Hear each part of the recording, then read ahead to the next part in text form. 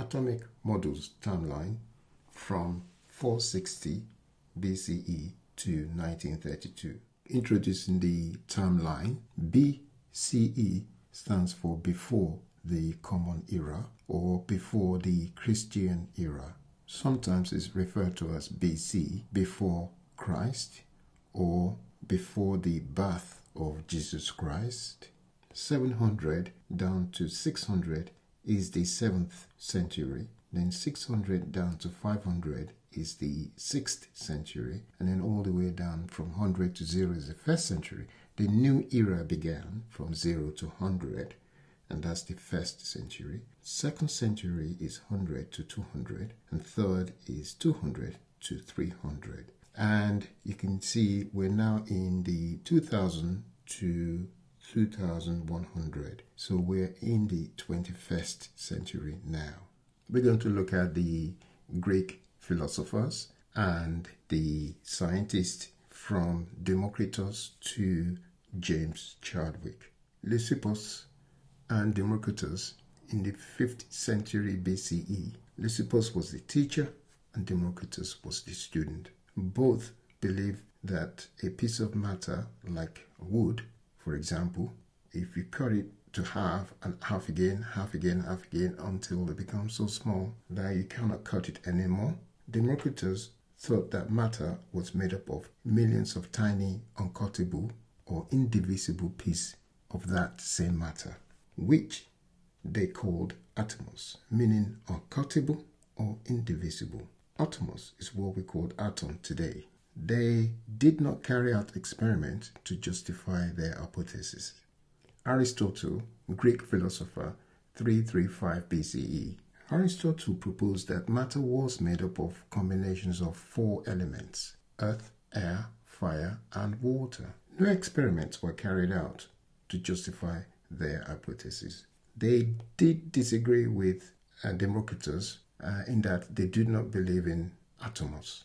The third one is in the 1773, 16th century. Antoine Lavoisier uh, is a French chemist. He stated the law of conservation of mass, which is that the total mass of reactant equal to total mass of products in a chemical reaction the total mass of a chemical reaction will remain constant. Stoichiometry is founded on the law of conservation of mass, and that led to the insight that the relationship among quantities of reactants and products typically form a ratio of positive integer. Here's the positive integer here, there's a ratio here, and this is a stoichiometric ratio. We are burning methane with oxygen to give carbon dioxide and water. So 1 mole of methane plus 2 mole of oxygen gas gives 1 mole of carbon dioxide plus 2 mole of water.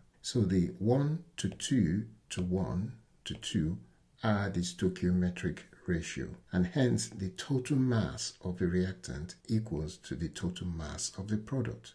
Number four, the next big one is the is in 1794 by French chemist Joseph Louis Proust.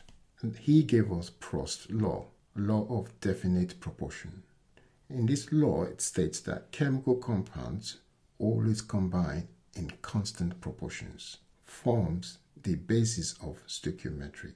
Again, you can see A, little a, capital A plus little b capital B will give you little c capital C plus little d capital D. A, B, C, and D, the little ones, are what we call coefficients in maths. That's the number in front of a reactant or product. But in chemistry, they are called stoichiometric ratio or moles. So here, again, the same combustion of methane. We got 1 for little a, 2 for little b, 1 for little c, and 2 for little d. Again, so again, it's talking about the formation of stoichiometric ratio, which led to the law of conservation of mass. So that's another big justification for the law of conservation of mass. The fifth one we're going to look at is John Dalton, an English chemist in 1803. This is called Dalton model of atom. Dalton's law, the law of multiple proportions, states that if two elements can combine to form a number of different compounds, the ratio of the masses of the two elements in their various compounds will be represented by a small whole number, positive integer. For instance, if you got two elements, hydrogen and oxygen, combining together to form water, and the ratio of those two elements in water is 2 to 1, whole number. Like in hydrogen peroxide here, the ratio is 2 to 2, which is 1 to 1. In nitrogen and oxygen here, you form N2O, the ratio is 2 to 1. And O, the ratio is 1 to 1. There's 1 there, there's 1 there. And O2, the ratio is 1 to 2. So we can see a whole positive integer here. And that's what this is saying. Iron and oxygen will form iron oxide ratio 1 to 1 or iron 3 oxide which is 2 to 3 ratio. So Dalton then went on to state that um, elements are made up of tiny particles called atoms and that atoms of a given element are identical in size, mass, and other properties. Atoms of different elements are differ in size, mass, and other properties. Atom of hydrogen will be different from atom of nitrogen. Every element is made up of their own atom. This is what this is saying. So, atoms cannot be subdivided, created, or destroyed.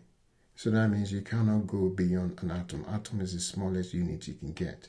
Atom of different elements combine to form compounds in a simple whole number ratio. We just talked about that from the Proust law.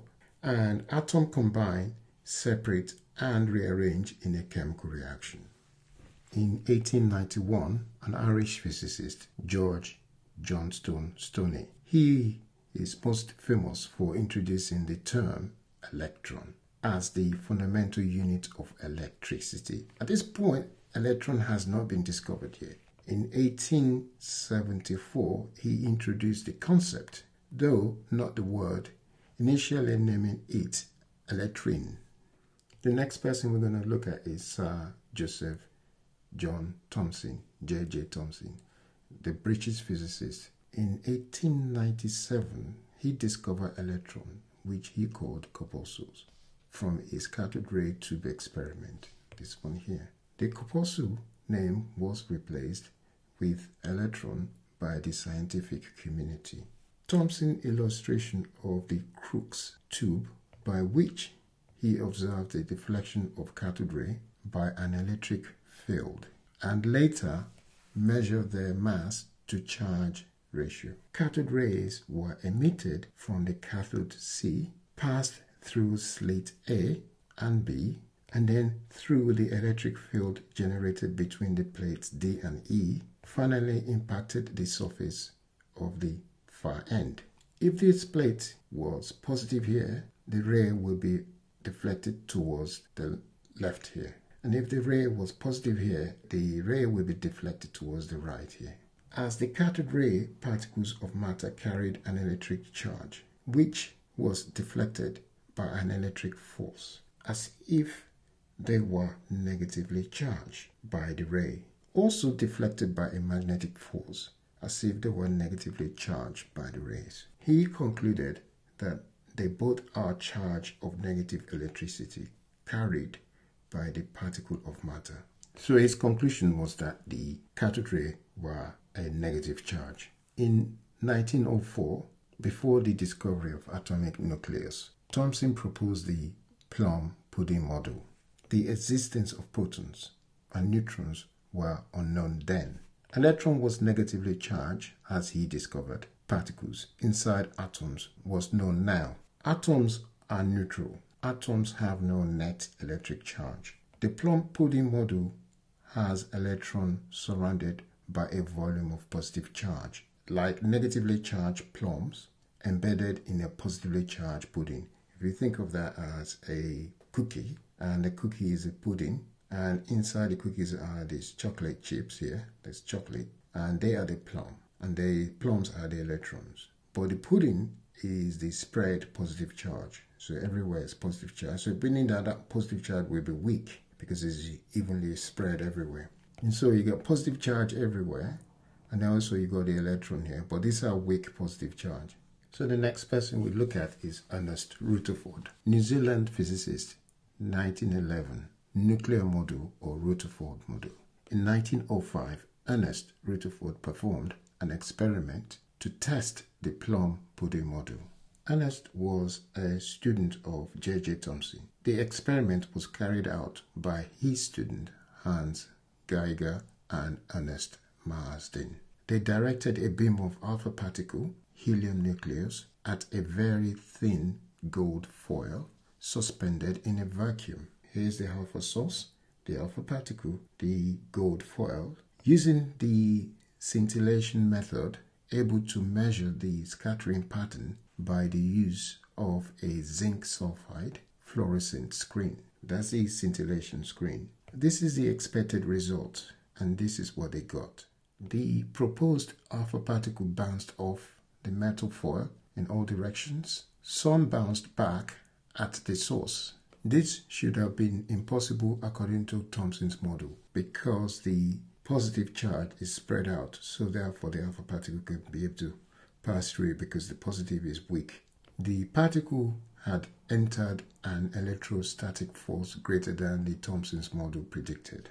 Only a small fraction of the alpha particle were deflected by more than 90 degrees. Most flew straight through the foil with no or little deflection. Rutherford concluded that the center of the foil atom is a tiny positive charge and that most of the atom's volume was an empty space and that the electrons is surrounding the nucleus. The next one to look at is Niels Bohr, Bohr's model, a Danish physicist. In 1913, a student of Rutherford revised Rutherford's model by proposing that the electrons are arranged in concentric circular orbits around the nucleus, just like the planets orbiting the Sun. Hence, Bohr's model is also called planetary model. Electrons occupy only certain stable orbits around the nucleus. That's a stable orbit, that's a stable orbit, that's a stable orbit. In between is not stable. These orbits are called stationary orbits. Each orbit has an energy associated with it and at a specific distance from the nucleus. That's the nucleus, distance, distance, distance. The orbit nearest to the nucleus has an energy E1 and the next orbit from the nucleus has an energy E2 and E3 and goes on. So what could be wrong with Rutherford's model? Well, the electrons could collapse into the nucleus because they'll be attracted into the nucleus and then they will just disappear into the nucleus. But that didn't happen. So that means something else is happening. Bohr's model is widely accepted. When an electron absorbed the right amount of energy, in this case photon, so that's the photon, that's the electron absorbed in the photon, it will jump from a lower orbit E2 to a higher orbit E3. So this energy absorbed will give the electron the energy to jump from a lower energy level here to a higher energy level. So that's called excitation. So the electron gets excited. So the absorption led to excitation. But the electron will not stay long in the higher energy level. Soon it will jump back down from a higher energy level to a lower energy level. In doing so, it will release and energy or light, and this is called emission of light. So this is an emission process. And the energy of light emitted or absorbed can be calculated by using the difference between the two orbital energies. So this is the difference between the two orbital energy. In this case, E3 minus E2 will be equal to HF, where H is Planck constant and F is the frequency. After that, Ernest Rutherford then discovered proton. Proton was discovered in 1919 by Rutherford. For decades, proton was considered to be elementary particle, just like electron. But after that, it discovered that proton wasn't an elementary particle, but rather proton is a composite particle because it consists of quarks. The 11th person to talk about is Erwin Schrödinger, Austrian Irish physicist in 1926. Quantum model. A powerful model of the atom was developed by Erwin Schrödinger in 1926. He combined the equation of the behavior of waves with the de Broglie equation to generate a mathematical model for the distribution of electrons in an atom. Schrödinger model assumed that the electrons is a wave and tried to describe the region in space or orbits where electrons are most likely to be found. Instead of trying to tell us where the electron is at at any time, the Bohr model, the Schrödinger model describes the probability that an electron can be found in a given region or space at a given time. This model no longer tells us where the electron is, but rather it only tells us where it may be.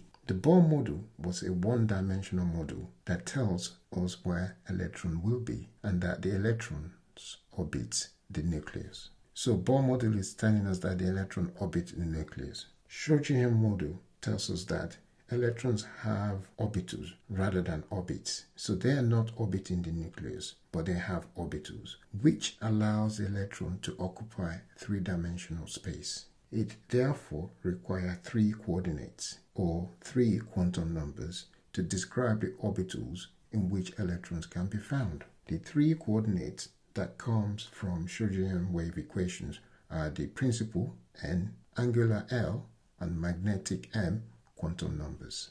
This is the time independent Schrödinger equation where H with a hat is the Hamiltonian, that's the total energy, this is the kinetic energy plus potential energy. Psi is the wave function and which gives the energy and the wave function. So this is what we call time independent Schrödinger equation.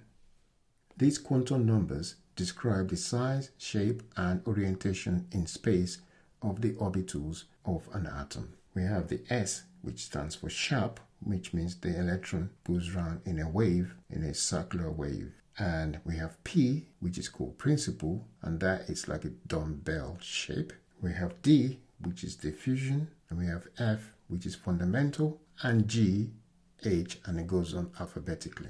The D orbital we have dxy, that means xy plane. So you got a, p orbital in xy plane, in xy plane, because that's y and x. dx squared, y squared, it's on the axis of y and x. It's on the axis of x and y. Same thing for xz, that is talking about xz plane. So in between, that's what that meant, xz plane. And here is the dx squared minus z squared. That means it's the axis of z and axis of x. This is dyz, so this is y and that is z. Again, between y and z axis. And we go the dy squared minus z squared. Again, this is z axis and y axis. So if I could write that there, that would be z and y axis x squared minus z squared and y squared minus z squared combine together to then form the z squared d orbital.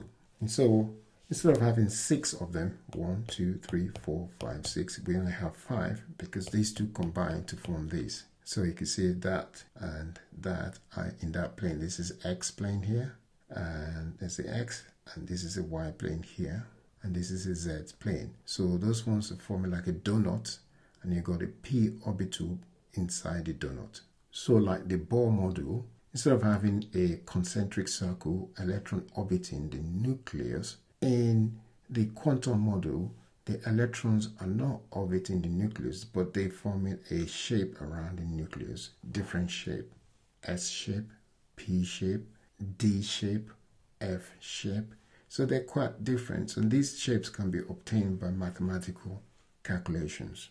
So unlike Bohr model, Bohr model says that the electron orbits the nucleus. Quantum model tells us that electron doesn't orbit the nucleus, but rather it has orbitals.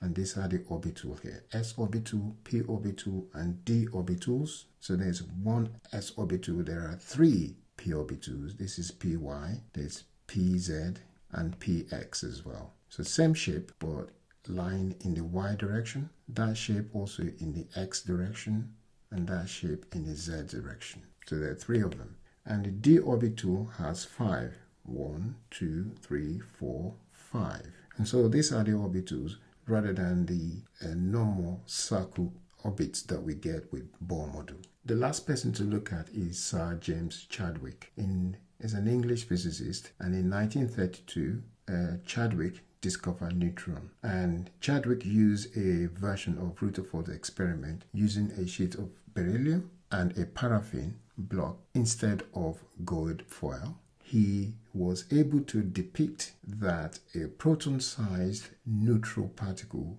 now called a neutron does exist. This is the Sir Ernest Rutherford's laboratory that Sir James Chadwick also used. This is the Bohr model that we use to simplify the description of atomic model of an element. So we looking at, in this case, I'm looking at an element of sodium. So if I write sodium here, sodium.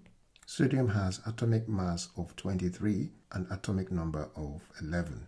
Atomic mass is the number of protons plus neutrons, and the atomic number is the number of protons. I mean, the proton here is plus 11 and the electron is minus 11. And if I take away the protons from the atomic mass, I get the neutrons. So that's 12 neutrons. And we could write the electron configuration of the sodium element. But first, let's populate the, the shells, the energy levels here. And so the first electron goes into here and the second electron goes there. And so that means that the electron configuration is 2 for the first energy level. And, the, and then we go on to second energy level by populating it with 8 electrons. So we do the first 4 first, like that, spaced apart. And then we start to pair it like that.